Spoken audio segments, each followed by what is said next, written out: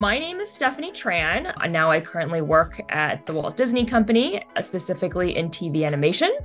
I'm an associate producer and I am working currently to develop projects, one of them which I unfortunately can't talk about, but I'm very excited about because it is about Asian American kids. And I also, you know, help run studio projects um, in studio overhead for the company. And I'm so excited to be here. I've never really been able to talk about you know how being vietnamese american is part of my identity before in this detail with the host who understands also in this detail so looking forward to it welcome to the vietnamese i'm your host kenneth Nguyen being part of a culture of nearly 100 million Vietnamese people in the world today comes with a lot of pain, proud history, and privilege.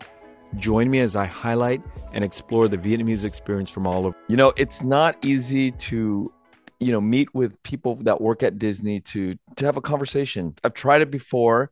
There's protocols that we have to go through. So i really appreciate you being here. Of course. Thank you for having me.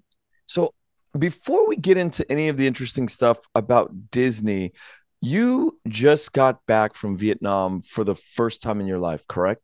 Literally just got back last Monday at 11 a.m. And I'm glad that we scheduled this now because I actually am a human again on this side of the uh, equator. yeah, you you don't realize what kind of uh, changes your body goes through as you spend a few weeks in Vietnam and then coming back here. You're like totally destroyed for like a week. Exactly. And when I left too, because I left on June 11th, Sunday, June 11th, we were still in the middle of our June gloom. It was cold, rainy, whatnot. Obviously, we prepared ahead of time and we knew that Vietnam was going to be humid, sunny, hot. And all of us were thinking, this is going to be great. This is going to be so nice. Went there. Obviously, it's a bit of a change, culture shock in terms of how humid it is. Had the best time for three weeks and came back. And obviously, this week, you and I both know there's been a huge heat wave in Los Angeles. But when I did land on July 4th, it was still relatively cool. So um, it was like, oh right, I'm I'm back in Los Angeles, but at least there's sun. so I, I'm interested to hear what you thought of Vietnam before you left, and what was the reality once you got there and spent three weeks there. Sure. So, what I thought before I went to Vietnam, because again, as you'd mentioned, I'd never been before. So, um, and on top of that, I'm the only person in my immediate family who was born in the US. So, quick history, very quick history about my family. Um, dad's from the North, um, mom's from the South. They were already married in 1971. Um, obviously, my dad was in the army, um, the South Vietnamese army. Um, they had two kids, my siblings, my sister and my brother. Um, and then after the fall, my dad, like so many of our elders, was in a labor camp for a few years. So they weren't able to actually escape Vietnam until 78, and they didn't get to the US until 79. I was a surprise child. I was the kid that was not supposed to happen. They went to the US, rebuilt their lives very successfully, and I came in the 80s. So, with that in mind, I obviously knew the history because I knew it's very easy to see that my parents are not from here, that even my brother and my sister were not born here, even though they came as kids. They're, you know, this is really the only thing they've known for the longest time. So, um, when I hear when I heard Vietnam before I went, it was all a little bit contextual and historical. I think probably in the same way that most kids that um, are from here know the Mayflower came in the 1600s. And some of the people that live here still to this day have descendants from the Mayflower. It, it was very contextual. Obviously, my history is a little bit closer to that because that's like, you know, in 50 years, not hundreds of years. But still, it was, I know that I'm the only American. I know that my family are refugees, you know, and whatnot. I knew that it took my parents until 2011 to even decide that they wanted to go back to Vietnam at all. They didn't even want to, understandably so. Um, and I know that for a lot of um, people of that generation, they handle it differently. Some want to go back all the time, and some, some like certain my aunts and uncles refuse to go back. Um, but they went back first. It was my parents, and they went back with some of my aunts and uncles and my cousins in 2011 that was the trip I think for them that was the biggest closure trip. And I'm glad that happened because I was actually able to go back to Vietnam with my parents and with my older sister and her family. So I knew, and I was honestly a little bit nervous going into this trip because I didn't know what to expect. And I knew I would probably feel you know a draw and a calling and i feel feel like i'm going to this place but i i didn't know what to expect um we didn't know how before my parents came in 2011 we didn't know how they were going to react to people who are Viet Kieu but especially people who are Viet Kieu that were born here. Like even though my parents are obviously from Vietnam my siblings were born in Saigon. It's I'm the one born here. I'm the one that actually in that country sticks out.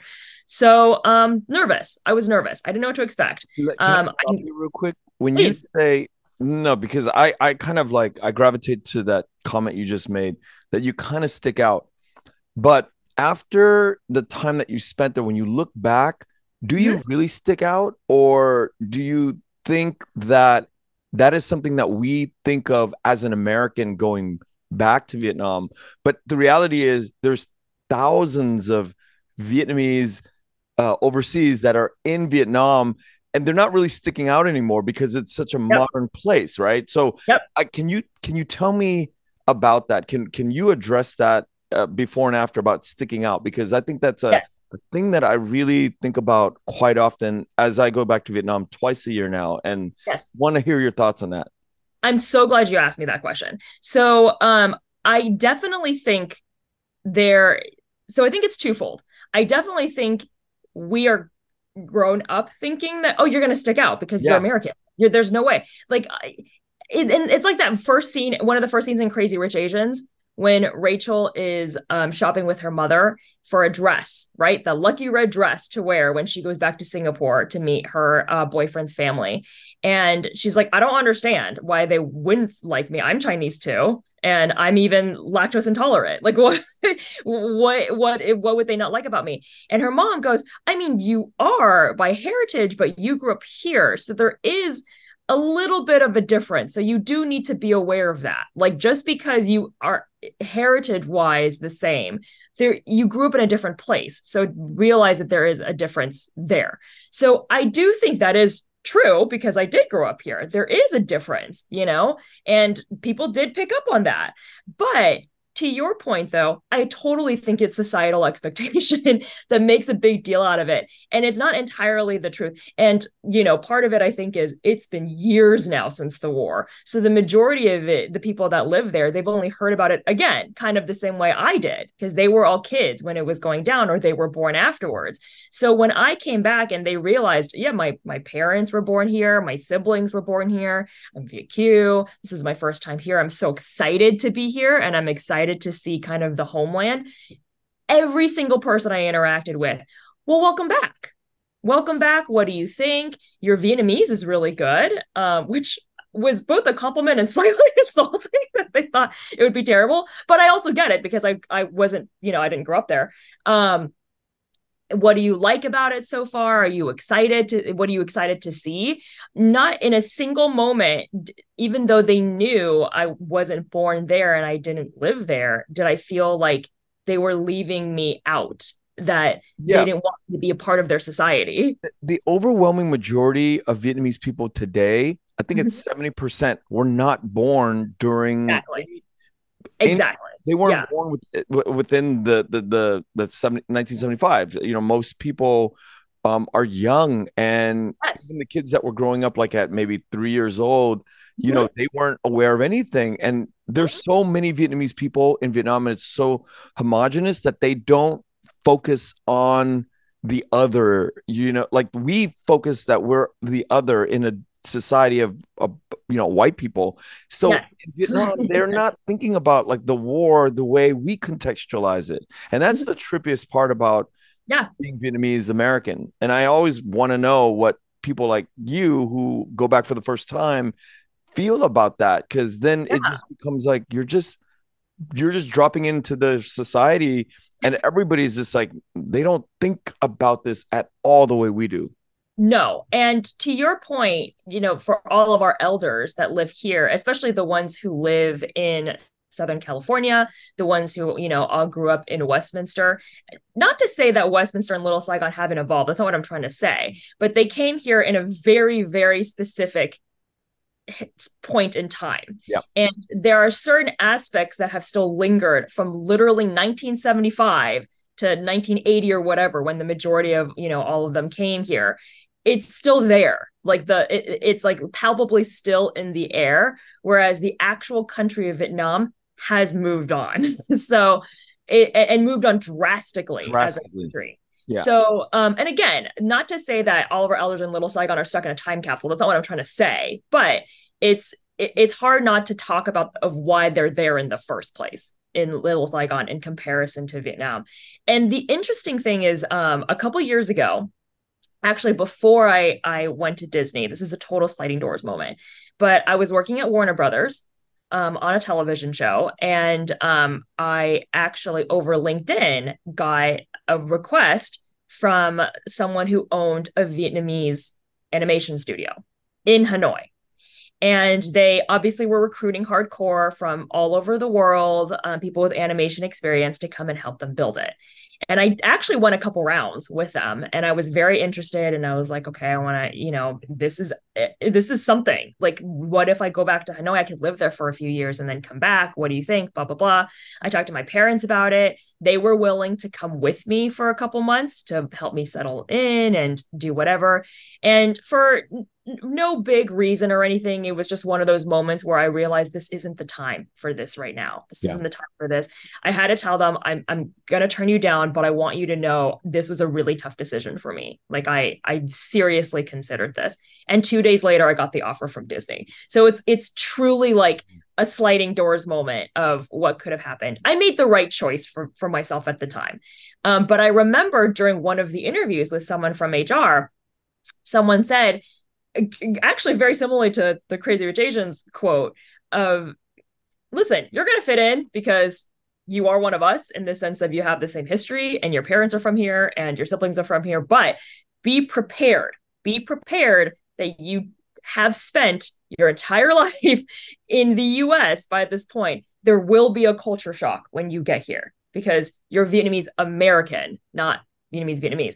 And I remember at the time I was upset. I was a little upset, not offended, but I was upset of like, what do you mean I'm not, you know, I'm not part of you? I've already dealt with 30 plus years of trying to figure out what it means for me to be Vietnamese American. It's, you know, what Viet Thanh Nguyen talks about, like living in that dash between yeah. Vietnamese American and what do you mean? Because exactly, because what do you mean? Because like white Americans don't even think I belong here. And and now you're telling me I don't belong there. Like what what do you what do you mean? um and weirdly enough, now going there and being there for three weeks and then coming back has actually given me a lot more clarity and peace in living in the dash. Like the beauty of that, mm. of feeling like I do have this calling and I do have a side of me that still misses Vietnam, a, a, country I'd never been before, that I wasn't born in, but felt a connection there and loved it there and learned so much about it and learned so much about my parents and you know loved being there and then coming back and being like yes but la is home it, yeah. it actually gave me a lot more context for that and I mean, I don't think I'm going to be able to get to your point yet where I come back twice a year, but I'm like, I want to go back. I have my five year, you know, Viet Kieu visa. When am I going back next? And I was able to see all these really great cities, but I want to check out Sapa next. What like how do I get that on the list? And there are all these other things I want to go see when I'm in Hanoi and when I'm back in Saigon and whatnot. And I'm I'm already looking forward to going back. So um that's uh, to, again to go back to your question of is it something that we put upon ourselves or is it actually true? It's a little bit of both but i definitely think we put it upon ourselves and obviously it's an expense and obviously it's a, a, ways away but i strongly encourage anybody who you know whose parents went through the war who you know a lot of us here are refugees or whatnot or kids are refugees to to go back. It's an experience. And obviously um uh, there are certainly poor air areas of the country but poor areas here yeah west you know um obviously it's a culture shock, but travel's good for everybody. So Well, I'm glad you had. It sounds like a wonderful experience. Now, I want to um, start um, by asking, how did you arrive at Disney? Sure. So, um, I probably like you and many Asian American kids was fed for the longest time of like so you're going to be a doctor you're going to be a lawyer you're going to be an engineer. That's well, like the the you know trifecta basically right? And here i was you know um going to high school in glendora and i'm like but my favorite my favorite subject's english. And I, I and history and i want to learn more about storytelling and whatnot and i remember um so i went to ucla i when i got there I telling my parents oh, I want to be an English major. And it was like, what are you talking about? What do you what do you mean? Um, do you want to be a lawyer then? Is that is that what you want to do? Otherwise, you're gonna starve. That's there's no other alternative. And the older I get, the more understanding and empathy I have for my parents mm. and for immigrant parents for saying that because when they came here, it was just about survival. Like yeah. they just, we need jobs. We need to make sure that we, you know, our kids can survive. And the way to do that is get a good education. I'm, I'm not telling you anything you don't know. You know, you need to get a good education. You need to get a good job. And that's the way to like be part of America, basically. And my dad was able to do that. He was able to get his medical license again. He was a practicing doctor. My brother became a doctor my brother married a doctor and my sister became an executive working for a pharmaceutical company. So it was also kind of like this is in your actual dna of like your you know medicine. Skipped me. But um it took them a while to to understand like listen that's not my thing. That's not my thing. Um and i originally you know when i was trying to figure it out i worked for my school newspaper and I thought this is what I want to do. I want to be a, a, a, broadcast reporter. I was on camera. I was a broadcast reporter, and um, I was working in the sports department. And I worked. I worked my way up uh, the next year to be a news producer. So I was like, "This is what I want to do. I want to be the next Christiane Amanpour, traveling the world, doing mm-hmm. stories and and learning about people and whatnot." Um, when I graduate from college, I promise you this will get you back to Disney. I promise. But when I graduated from college, it was do I go to grad school now and actually fully go down this journalism path, or what do I do? And like many graduating seniors from college, it was, I do not, I cannot fathom more years of school at this moment in time. So my parents told me, great, you have a choice. You know, you can figure it out. You need to get a job. We'll give you the grace of a few months, which is an, incredible level of grace that my parents were able and willing to do and were able to afford. I have to give this to them. Of we'll give you a few months, we'll pay for your rent, you have to figure it out, and then after that, you you got to go to grad school. Like that that cord is going to get cut. Totally uh, understandable and agreeable terms. So great, I have to find a job. And as I was working retail and figuring it out, um, my brother-in-law, who does work in reality TV, said, "Why don't you just work as an assistant, an executive assistant in reality TV? You know, I can at least help you get that first job, but then you're on your own to figure everything else out." Um, so it was the the most minor level of nepo baby. Of I was able to get in the industry, but I know no one famous to help me get in there. So that was my first job. I worked in um, reality TV as an assistant. Um, and from there, it's just like every other, um, you know, Hollywood story of I was an assistant for many years, but I worked in reality TV and then I went to a talent agency. I worked at ICM Partners for a while, which is no longer there. It's part of CAA. Um, and while I was there, um, I think one of the strengths that I do have is trying to learn how to adapt to the to the company, figuring out what they need, and then also kind of being a little bit of a sponge and figuring out, you know, what can I learn and how can I help. So from ICM, um, I was helping out on a lot of deals, and at the time, I was I was an assistant working in um, the MP production department. And for people who don't know, if anybody's not coming here, not from the Hollywood um, entertainment system, MP production means that my agent, my boss, was repping below the line talent, costume designers, editors, cinematographers, those people that actually help build the film. Um, at that time, which is 2010 or so, when I graduated from college, and you know, a couple years at that time, animation studios were hiring live action DPs, live action cinematographers, in order to help build out the scope of their films. So the perfect example of this is um, Pixar hiring Roger Deakins, who is one of my boss's clients. Roger Deakins, famous cinematographer, did a lot of Coen Brothers movies, one for Blade Runner 2049, the Oscar for that. Um, hired him to be a consultant on WALL-E. So when you see WALL-E and you look at all of the big, beautiful space scenes while they're, you know, dancing through space and whatnot, he helped with that. And it was really, you know, figuring out like camera placement, how like it should look so expansive when he's there and whatnot. They hired live action DPs to help um, with that. Um, WALL-E became a huge success, and then they were able to hire other cinematographers to help. So those were all my department's clients. So I spent my year there. I was trying to figure out my next steps.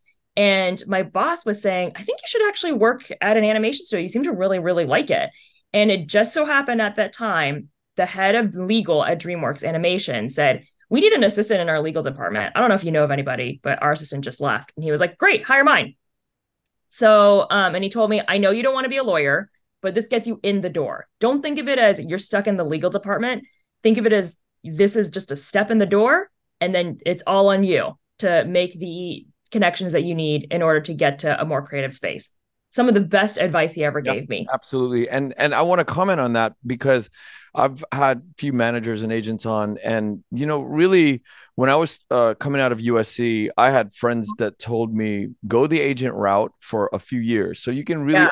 understand it's like the spokes right like you're in the yep. center of the spokes and yep. branches out to the wheel um, eh, to all of these different departments mm-hmm. especially mm-hmm. when you're at a, a, desk as an assistant you get to see the inner workings on how deals are made and how deals yes. are signed and what gets greenlit and why things happen and it's so yes. important to kind of be able to understand this ecosystem so you can navigate thoroughly when you're traversing through this universe of, of entertainment i couldn't agree more and it's it's basically when you have a check a, a, second to check yourself away from the weeds and look up and actually observe. That's what you're you're getting at right there where because as an assistant listen, I get it. I was an assistant for years and it's boring. And you're doing things like taking notes and doing expense reports and whatnot. And it's easy to be like, well, I just spent thousands of dollars. My parents spent thousands of dollars on a degree and this is what I'm doing. so it's easy to feel that way. But, you know, I encourage any of the younger people listening to this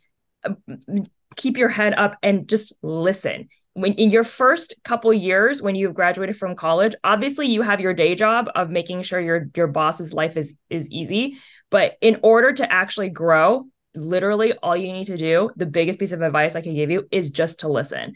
Because even though you don't think about it at the time those puzzle pieces are getting putting getting put together in your brain. And it will help out in the long run. And yes agency life is tough.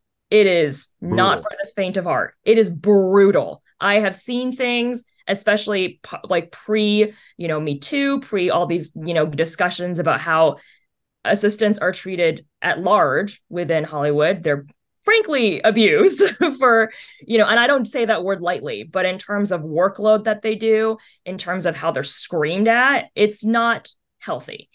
I don't encourage agency life for everybody. But if you're willing to do it and if you're willing to put in the time, you learn so much. And like you just said, Kenneth, the what the levels of connections that you can make, not in terms of networking, but that also happens too, but in terms of connecting all the pieces of the industry is invaluable. So that's I think was a big part of me. And to I will say it was luck of the draw that I had a boss at that time who was incredibly supportive of me and was like, I get it. You don't want to be an agent. I, I can tell this is not what you want to do, but you can do this. And yeah. I'm going to help you along the way. And when you're ready, he didn't have to say what he said to the head of legal at DreamWorks and say, you should hire my assistant. And here are all the reasons why. He did that. I didn't even ask him to. Wow. So um, that's that's how I got into the studio system and, and you know and, learning about you know this idea of, of support from your boss and you know understanding like the full scope of like why a boss would do that um it, you know it, it's very complicated and complex but i, I want to break it down for a bit because when an agent does that and helps the assistants out the assistant positions are sometimes transition periods in young people's lives. And when an agent recognizes that my assistant doesn't want to be an agent, maybe she should branch out into like the deeper waters of the entertainment industry. That's sort of like the beauty of tough agents and bosses, but they're kind of out looking, they're looking out for your welfare as well because yes. they know that you yes. are probably going to grow in different ways and by yes. the time you leave and you're into another place like disney legal or your it, this is this is very important it's such a subtle thing but when people are get leaving desk jobs at agencies and going to other positions um, the the ability to be in a new place and then have all that agency experience when you get dropped into these places, you don't you your your brain is not like empty. It's actually yes. the positioning of, of, of building blocks and contextual Absolutely. Clues are all there, and so Absolutely. you go into yeah. new positions very confidently to mm-hmm. exist mm-hmm. in that and and build relationships even and and and knowledge even even more fiercely than when you were at the assistant uh, level at the agency. A hundred percent. And it goes both ways. It goes, you know, you have the responsibility, right? When you're the assistant at that time to be open, to listen, to ask for opportunities. And I apparently 23 year old me was a lot smarter than I give myself credit for because I did that. I did that and I asked questions. And obviously I made mistakes you know but I w- was willing to keep learning i was willing to learn uh, you know the ins and outs or whatnot but it also was a two way street that my boss was willing to teach me and he was willing to call me out on my mistakes, but in a way of, let me explain to you what you did incorrectly so that you can learn from this. And he was the one when I talked, told him, like, I've been on your desk for a year now. What do you think? Like, I'm not, I'm not chomping at the bit right now, but I'm thinking, you know, six months. What do you think? And he was like, Yep, you're ready. So we're not in a rush. You and I are fine, but let's talk about having you meet people. Let's talk about what next steps are for you. It, it's a lesson both in making sure when you are in an entry level position to always be learning, because I get it. Your day to day responsibilities are going to be boring as hell when you are starting out, but you're still in learning mode and never lose that. Never lose the learning mode, especially when you're in an entry level position. But it's also a lesson in good management because when you do become a manager at some point and you're leading people, listen, I've had bad managers too, and I could talk to you for many podcasts about that. But you learn as much from your bad managers as you do your good managers. And that was my first lesson in good managing of we are uh, having a good conversation right now. You are, you know, you're my boss, I am your employee, but we understand each other. And he knew right then and there, it's time for her to go. So how can I help her go? And he and I still talk. It's it's great. And that's something I learned too of like that was good management right there. Yeah, it's um, beautiful. What a beautiful story, you know, and and I think that there's a lot to learn from that because it, it goes really goes both ways. Mm-hmm. Exactly, exactly. And he was able then to set me up for success when I went to DreamWorks, and he was like, "I get it, it's legal, but do it, do it, and start networking. You know how to now because you have the the foundation of it from working here at mm-hmm. ICM." So I did. And um, just like you said, because I was able to make sure that my eyes were open and I learned um, it obviously was a transition going from agency to a studio system. a lot more politics involved going into a studio system. Um, but it was actually a relatively seamless transition. You know, I learned, but I understood one side of how deal making was done. So it actually wasn't that difficult for me to go into being a legal assistant at a studio. It's actually very similar. So, um, but I went in there and I was very open with them of I don't want to be a lawyer. I don't want to be paralegal but I am willing to give you a hundred percent of my time here, and I'm willing to give you a year. And they were like, Great, you give us a year, we will help you at the end of it. Yeah. You know. And, and how long did you end up staying? I ended up staying exactly a year in that and, position. And then and, how did the transition happen from from yeah. most legal? Sure. So um obviously I was um I worked on my like day job and I made sure everything was done and whatnot. But I kept talking to my bosses who were in charge of, you know, fin- finishing all these deals for the studio. And I just started asking questions of like, what are these deals for? And are these producers in house? Can I meet with a recruiter for production just to ask them? Obviously, I'm not going to leave your department anytime soon, but can you make the intro? Sure and and it was you know, you can't do that right away, but I worked for them for, you know, we'll say six months at that time, right? We already had established a level of trust by then, and they knew Steph's good for it. She's good for it. She's going to do a good job. She's going to continue. She's starting to ask questions now of how we run at a studio, and she's curious. And we know she's not going to stay for a little bit more than six months, you know, moving forward. Why not? So they started putting me in contact with people. Um, and I started meeting people and saying, this is what I've been doing. And I know that I've been working in um, in a legal department. I was working at an agency, but I'm actually interested in production. I'm actually interested in learning more about that or learning more about creative. Um, how do I get there? So uh, we kept talking, and I was very honest about to my bosses about this. They were not in any way, shape, or form in the dark that this was happening. Um, and it just so happened, and this right here is an example of just good timing, pure good timing um, at, on my part. But when I was there at DreamWorks was in 2012 and 2013 at that time. And at that time, DreamWorks Animation was building up their television department. So they had hired consultants, they'd hired away, you know, former heads of production and heads of studio at Nickelodeon to help them build in an, in an animation studio for TV. And we were working with them because they were the people that we needed to work with as a legal department to sign contracts. And we had some, you know, uh, TV shows in place and they were, you know, still talking to them and whatnot. It was just organic, right?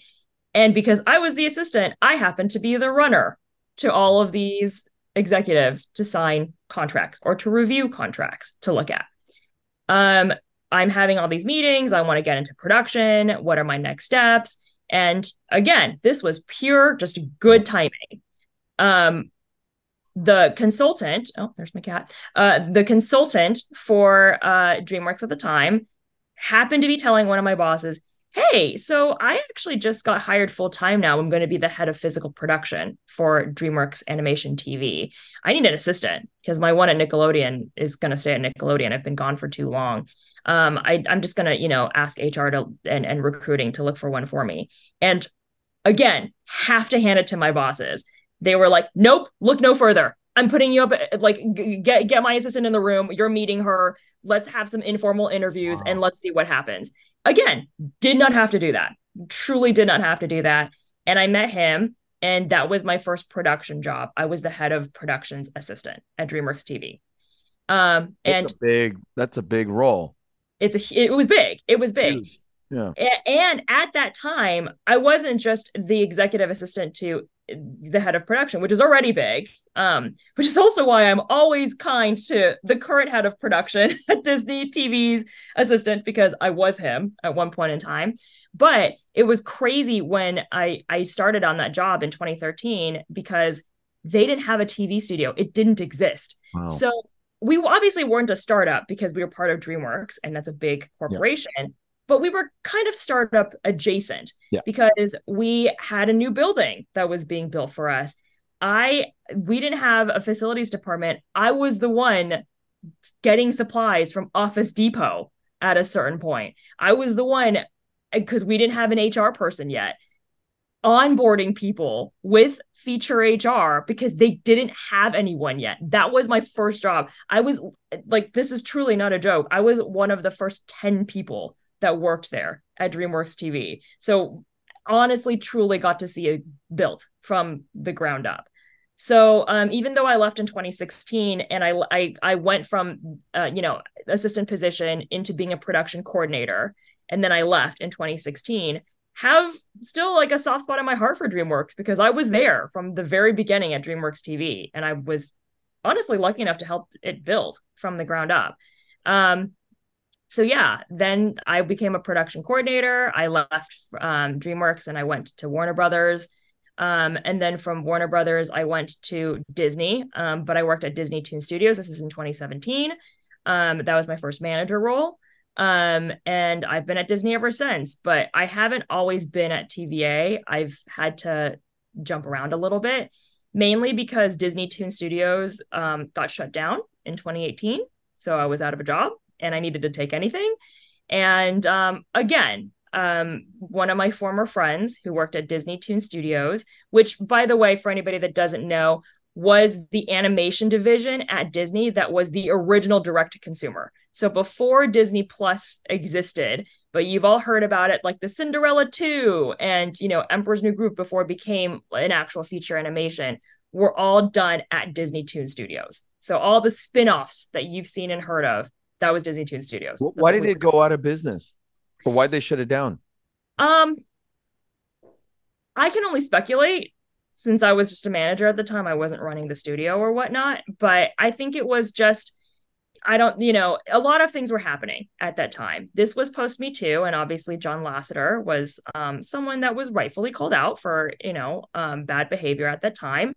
John Lasseter was uh, the head of all of the animation studios at that point at Disney. Um, and it was, but Disney Toon Studios was a little bit of his pet project because we were working on um, offshoots of Cars, which is one of his favorite properties. So um, it was wait a second. So we're not moving forward with planes and trains and blah blah blah. What do we do then? Um, Disney Plus was just starting in 2017, 2018. So I think it was just they made, you know, whoever they is just made a decision of we don't need that. We don't need that segment. We don't need that studio. Um, it was a bummer it was a bummer. Um, but that's crazy because um, it, I mean, I'm just speculating. I mean, it sounds like they shut the whole thing down because if we can't sign deals because of John Lasseter, we just have to put this division down. I mean, I can't speculate, but I'm sure it was a factor. Um, and I'm sure there were other economical factors too. I also think it, I, in this case, I also think it wouldn't be fair to put the blame all on John Lasseter. Yeah. Um, I think he was just one contributing factor. Got it. And he's a god yeah. over in the animation world. Absolutely, absolutely. Even now, even now, with you know all yeah. of the stuff coming to light about how he's just you know slightly um, not great in certain ways.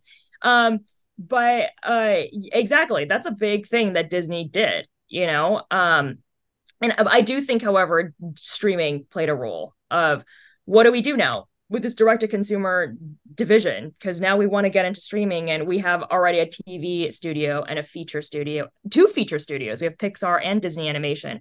Do we really need them?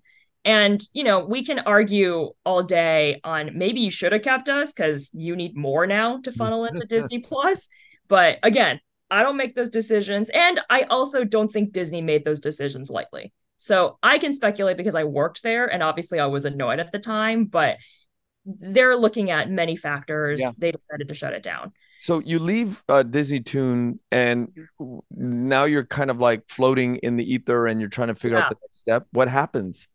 So um, I was unemployed for a couple months. And again, I was lucky, especially for so many of our current brethren uh, after the WGA strike and the SAG strike now who aren't working. Hmm. I was, I, and who haven't been working for months. Um, I, I got lucky. I was really only unemployed for about three months. Um, and during that time, I was interviewing all around town. And obviously, all the executives at Disney Toon Studio were everywhere. The majority of them left to go to TV animation, though, Disney TV. And um, I obviously was still talking to some of them.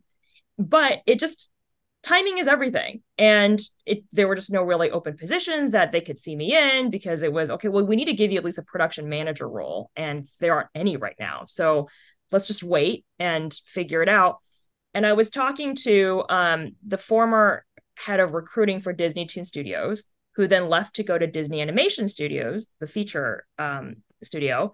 And he was like, listen, why don't you just take like a like an independent contractor gig around Disney? I have a few that I can send your way. I'll put in a good word for you. Just interview with them. I know it won't be in animation. I know it won't be in production, but it keeps you in the Disney system. We can still talk to you and give you, you know, um, any kernels that we have of upcoming jobs. But I think you just right now need to focus on getting a job and getting into the system again and working your way around and making more connections. And then we can keep talking, basically. In all honesty, very similarly to my old boss at ICM's advice of I get it, not what you want to do, but think big picture right now. Like I know it sucks, but think big picture. So I did. I took a leap of faith. And um, it just so happened there was an, uh, a consultant independent contractor gig um, in live action employee relations HR at the Walt Disney Studios and they needed a production consultant because they were looking at building systems to work better with all of the live action productions for the Walt Disney Company. And I'm talking Disney, Marvel, Lucasfilm, and eventually Fox, because they did acquire Fox during that time, of how do we track how we're tracking all the employees, you know, and the day players for all of these big budget movies. We need a way to track them to make sure that they a are taking their training, b are not lost in the system somewhere, and c we know and we now have data on them so that if something goes wrong and they put forward an HR complaint, we now know who these people are. Um, and I was like, oh, you need help with like figuring out systems? I can do that. that's that's what I do. Can't help you with HR, can't help you with live action, but I can 100% help you make your lives easier putting together systems and production tracking. That's what I did for a year. And again, they knew. They were like, we know the second you get a, a job back in your normal life, you're going to leave us. But thank you for putting in your 100% thank you for you know helping us out with this and we'll just keep talking about that. And um so i did. And i was able to make connections then at all these various studios and um, you know talk to um, all of their producers about how to help out with these set tracking systems. The entire time still meeting with all my old friends who are now at all other studios still talking to my old bosses who are now at tv animation. And finally um, uh, in 20 was it 2019 2019 finally in 2019 got a frantic call basically from um now my um my head of the studio at TVA who I still talk talked to and was like we have a production manager gig. It's in development. You need to apply for it immediately. I was like okay okay I'm going to apply for it and at this point, I had been in my, you know, consultant gig for about 10 months. So a good amount of time. And I told them, like, listen, I got this interview. I don't know where it's gonna go, but I'm, you know, I, I have to do it. It's with my old my old bosses. It's an animation production again, which is what I care about. Um, I'm gonna do it. And they were like, do it, do it. We we knew you were never gonna stay long term. Do it. It's like, great. So um worked out, got that job, worked in and then that's where I when I came to Disney TVA, uh, was a production manager in development, then got promoted to associate producer in development and then transferred from development now into my kind of more studio overhead role. Um, and that's my journey of when I got to to Disney, and I've seen it all. I've saw I saw the layoffs. I saw uh, this is my third CEO that I've seen, technically second, but third CEO um, since Iger came back. Um, I've seen Disney loves to consolidate and then expand and consolidate. They're very big on acronyms. Um, so, um, yeah. And it, listen, you and I both know this. No studio was perfect, but you know, Disney's been a trip. It's been fun. I'm happy. Now, what what is what is your day to day now with um in terms of like your job? Like what do you do in your uh your job description? Sure. So um my job is twofold and like every other person I'm sure that you've interviewed who works in entertainment, it's like no day is the same. But I can at least, you know, talk about it in two spheres of influence basically. So the first thing that I do is I am still attached to something that I've been working on and developing since I was in development and um, working to get it, you know, hopefully greenlit and moving forward and whatnot. Again, can't really say anything about it because it hasn't been announced yet. Um, but I'm very excited about that, and I will be, you know, helping to produce it when the time comes. But that's only one part of my day to day is getting this, you know, project up and running. Hopefully, the other aspect of what I do is um, basically help out on studio wide projects that need to get done. So, for example, we have all the producers, right? And there are producers that work specifically on projects. So every single show that's currently on Disney TVA, Haley's on it,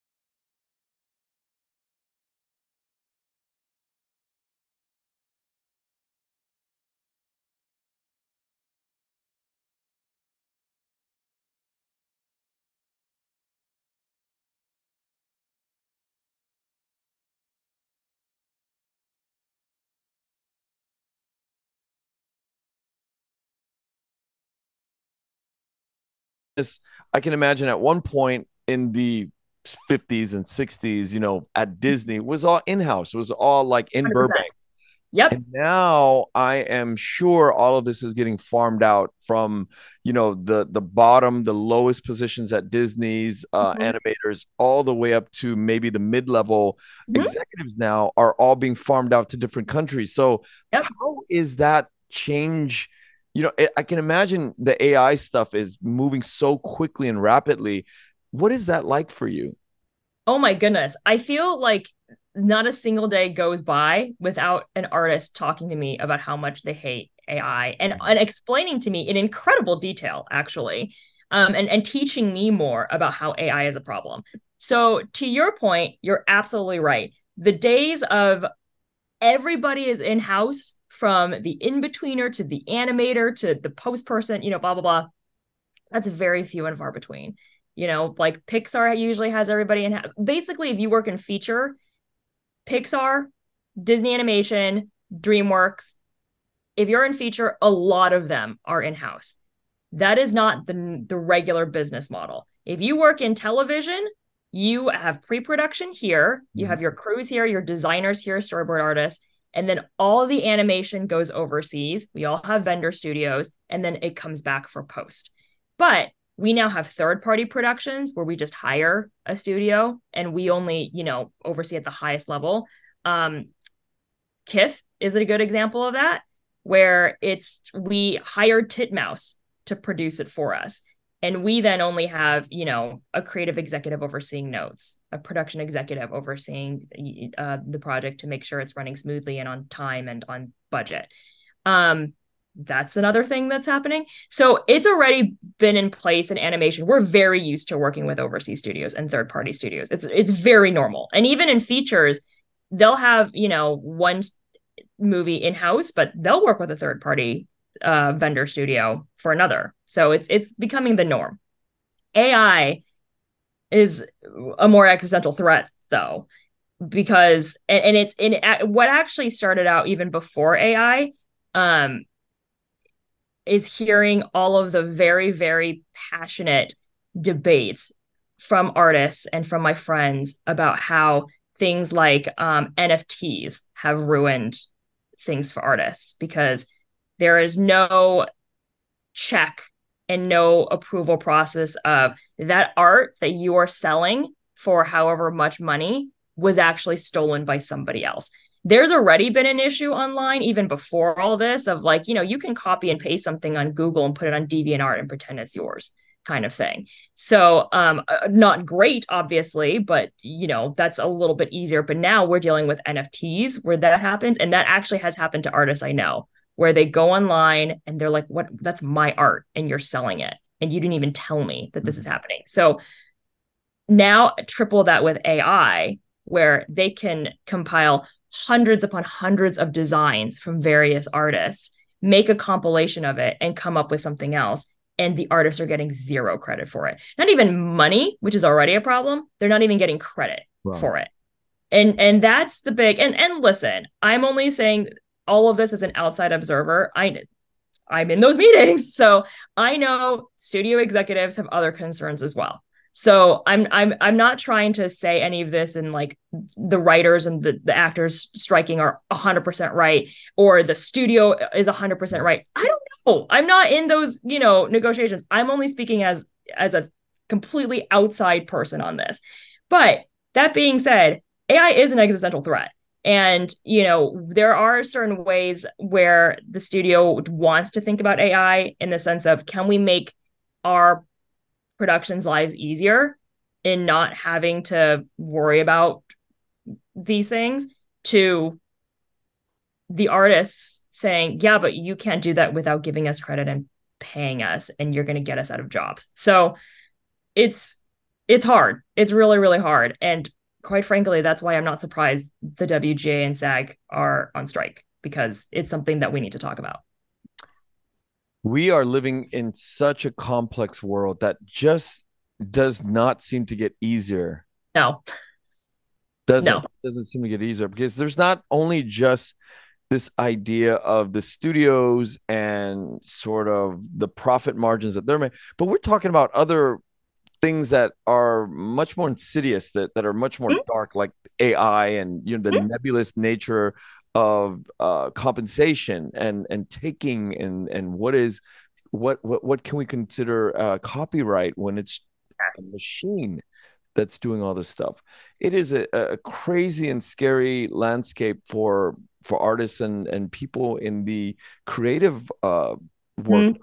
next few years it is. And i as as much as i hate knowing that that the especially for live action um that i hate the fact that the industry has shut down especially after the pandemic where it was already bad to begin with yeah.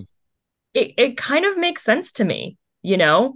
And it, it makes sense to me that we need to have these conversations now. And I, i'm not surprised that it got to an inflection point where you know artists are understandably annoyed and they want to talk about it and they they should and you know studios can be a little bit more transparent of like why they want to consider it and whatnot. And listen, I'm not in those rooms. I I, I am not paid 27 million dollars like Bob Iger to, to make these decisions. So um, I'm sure they've talked about it in some ways how it can help the studios. I'm sure there are some valid reasons for that.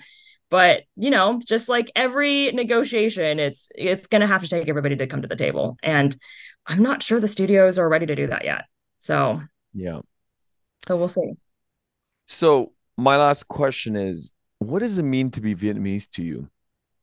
Oh my gosh. So many things. Um I think and and my answer to this question has evolved over time because um obviously I grew up in, in LA County, which is a lot more diverse than many other, you know, people. Um, but I grew up in a very, very white neighborhood. Um, so being Vietnamese to me when I was a kid meant I was just different and I didn't like it. Um, and I just wanted to fit in. And I didn't know why I didn't fit in. Um, even though in certain ways I did fit in. I fit in, you know, socioeconomically, I fit in education wise. Um, but I didn't look like everybody else. I didn't look like all of my friends. Um, when I was in college, being Vietnamese meant that I was starting to kind of learn more about my identity a little bit. Um, but I didn't want to talk about, you know, being Vietnamese, about being Asian. Um, I didn't join the Vietnamese Student Union on campus. I didn't even join any of the Asian, mm, you know, American unions on campus. I didn't want to be associated with it. It went from I don't want to be different to I just don't want to be associated. I I'm I'm curious I've gone away from feeling different to I'm curious, but I don't want to talk about it. This is personal. This is my my own thing, and that's it. When I became a young adult, it was wait, why do I feel this way? Why do I feel this shame? It, it became actually more self reflective in my 20s of why do I feel this way? I shouldn't be feeling shame, but I don't know how to feel pride right now. And I've never actually felt that before. What, what does that look like? Definitely a lot more self reflection um now in my in my early to mid 30s it has actually morphed into pride and it's morphed into not even just i'm proud of myself i'm proud of my family but like what are all the millions of ways i can talk about being asian american and vietnamese that i will literally batter you down with it i if you told me what uh, 10 years ago when i was 24 that Steph, you're going to go to Disney and you're going to start an affinity group at your studio for Asian Americans, I'd be like, you're insane. There's no way. I'm going to co found that. I'm going to do that. And I'm going to talk about Asian American issues all the time at work. And I'm going to be on podcasts where I get to talk about this. You're, you're insane. You're making it up. But that's exactly what happened. like, I did do that. And I'm really passionate about it. And I work with the other affinity groups at Disney to talk about this. Um, not only just Asian American ones, but you know, LGBT ones, Black ones, just to talk about how identity is so important. So, um, and I went to Vietnam with my family, and I'm honestly still processing it now of all of the things I've learned about myself, about my parents, about my heritage. It it uh, is hundred percent morphed into pride. And I think part of that too is Vietnamese people are so resilient. They've had to be for so many reasons.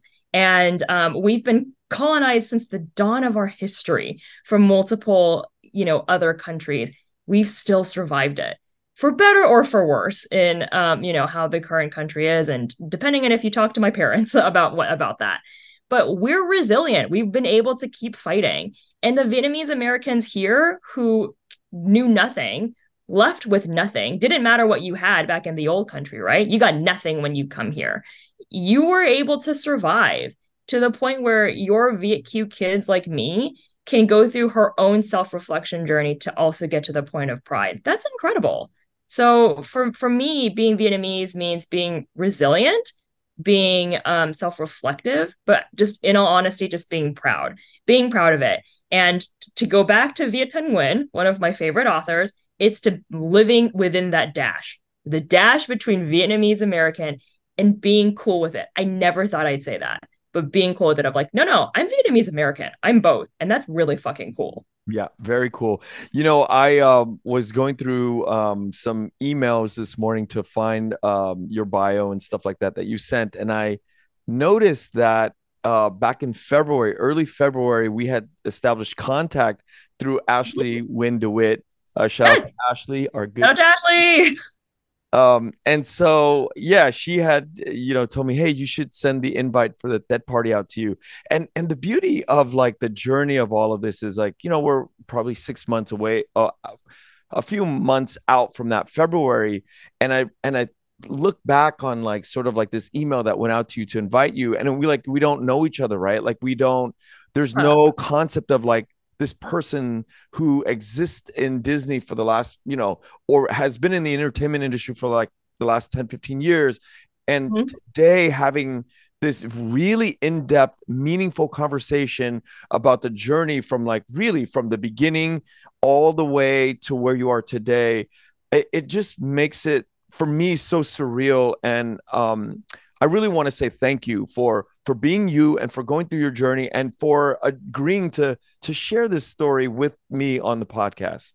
Thank you, Kenneth. I, and honestly, I do want to also thank you again for inviting me to that uh, that party back in February, but also, in all honesty, for inviting me to this community. I had no idea there was a whole community of Vietnamese Americans working in entertainment. That day on that night on Friday when we froze our asses off in in Brittany Tran's backyard, also shout out to Brittany, in Brittany's backyard was revelatory for me. And I know I'm a little bit late to the party in terms of feeling that sense of pride and like, where am I, where are my other Viet, Viet Americans at? Where are my other VQs at in LA? Let's all hang out all the time and do all these things outside of my family. I'm so happy. You like, I, we, we talked about how I went to Vietnam and I felt immediately welcomed. I felt immediately welcomed when I was there. And it immediately it led me to be like, how do I help this community more? How do I talk about it more? How do we work together and have yeah, more absolutely. projects about us? You know, um, well, I'm looking forward to that. Well, I just want to. I, this is the first time I'm talking about this upcoming event right here. Um, September 16th. I mean, it's a it's not a general invite uh we, we're not inviting the, the public I, I can talk about it because it's important to talk about the Vietnamese Film Festival uh, here in Orange County. Um, huh? I am uh, aligning with VALA, which is the Vietnamese Americans Arts and Letters Association. So it's VALA and the Vietnamese podcast. We mm-hmm. are organizing a Tết Trung Thu party like the one in, in February, but okay. maybe triple the size. Oh my God. Okay. So it's triple the size of, of what I did in February um, because we want to bring awareness to the Viet Film Festival in October. So uh-huh. in September, we are inviting all the industry folks like you from LA to come down to Orange County. And then we have like our guest list from Paris by Night and all the entertainers in Orange County. And then we have the socialites from South County, like Laguna, Newport, ah. uh, Hermosa Beach, South Bay. So we're putting like three different worlds together so we can amplify and and really be the focal point of where uh, Vietnamese Americans in the entertain, entertainment industry is heading. So chefs, uh, music, mu- music people, film people, all mm-hmm. entertaining, creative people in um, SoCal. and we're at, we are inviting people from the East Coast and stuff like that to all fly in to be a part of this Legend Two party. So it's like huh? a, a, bigger version of what I did in in February, and you will be invited as well, and Ashley, and mm-hmm. we'll be sending all that out. So that this is the first time I've talked about it uh, live because now things are actually you've been working on. I've been working on for a few months now, a few weeks now, so it's now uh, actually coming into reality.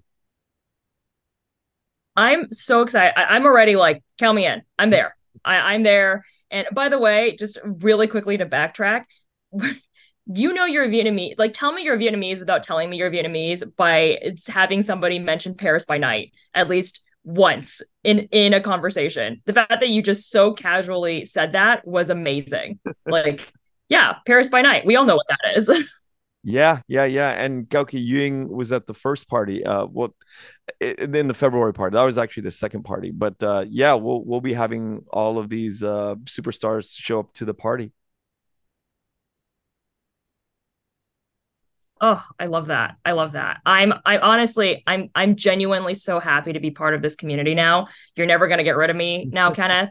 And um you know when all us Viets get together, the food's going to be lit. So well, you, we're happy. Tell- we're happy to have you part of our community, and we are honored to have so much great talent and diversity within the Vietnamese community here in LA. And you know, we're discovering that these pockets are happening in Orange County. They're happening all over the world, and so we are.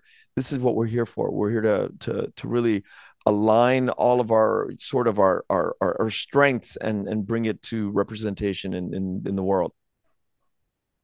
Absolutely. I'm I'm honestly happy to help out in any way, shape, or form. So you just let me know, Kenneth. I'm there. Thanks, Stephanie. Well, have a great weekend and we will talk very soon. Thank you for listening to the Vietnamese with Kenneth Nguyen. Special thanks to Brittany Tran, to Jane Nguyen, Catherine Nguyen, Tina Pham, Sydney Jamie, and Christo Trin. Please find us on Instagram, Facebook, and TikTok at the Vietnamese Podcast.